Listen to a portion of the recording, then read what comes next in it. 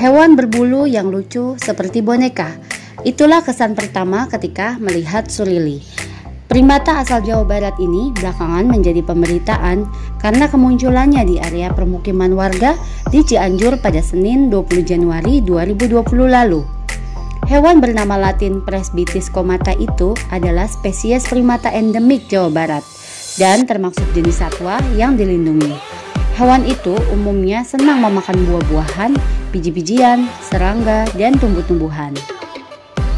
Jenis tumbuhan yang sering menjepakannya antara lain kaliandra, pakis, kondang, alpukat, kopi, penyeing, bungbuai, nangka, melinjo, dan nangsi.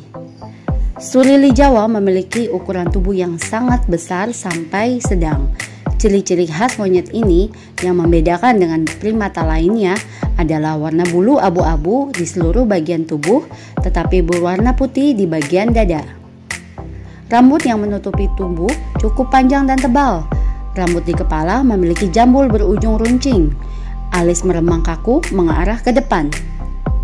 Surili Jawa merupakan hewan yang hidup berkelompok dan umumnya dalam satu kelompok yang dipimpin oleh satu jantan dewasa dengan anggota betina beserta anak-anaknya.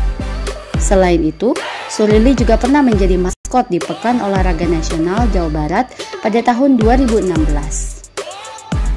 Penggunaan Surili menjadi maskot di Pekan Olahraga Nasional Jawa Barat pada tahun 2016 tersebut bukan tanpa alasan. Hal ini merupakan bentuk apresiasi dari pemerintah terhadap konservasi satwa endemik yang terancam punah saat ini.